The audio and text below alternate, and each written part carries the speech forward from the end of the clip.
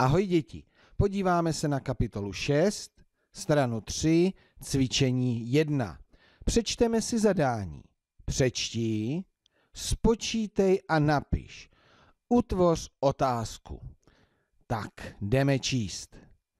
Leo má nula perníkových čertů a má šest perníkových Mikulášů. Tak, mám utvořit otázku. Jakou? No, docela by mi zajímalo, kolik má Leo dohromady všech perníků. Jdeme na to.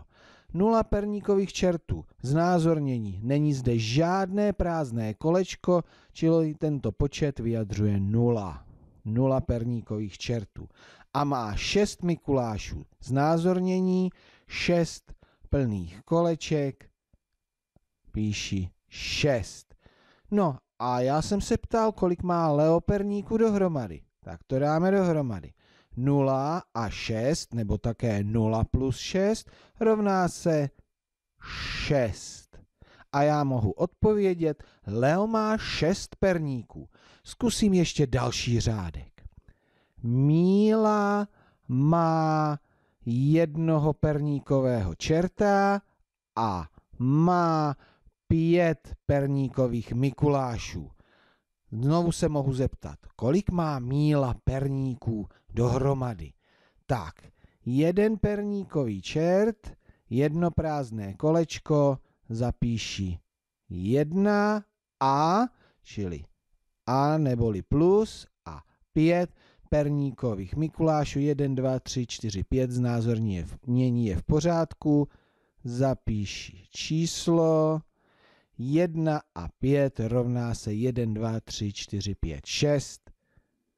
1 a 5 rovná se 6. Výborně.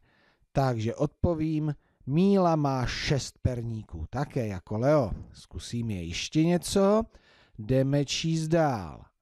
Malá Emma má dva perníkové čerty a má čtyři perníkové Mikuláše. Tak, jdeme znázornit.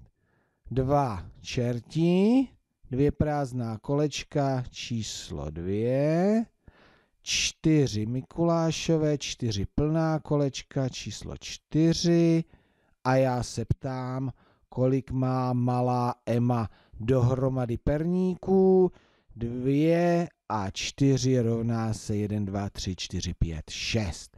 Tak, ukázali jsme si několik řádků, takže čtěte, počítejte, zapisujte a utvořte otázky a odpovědi.